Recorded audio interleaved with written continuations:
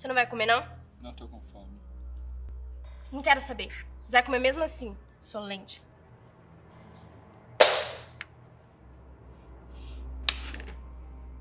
Vai. Come sua comida, vamos?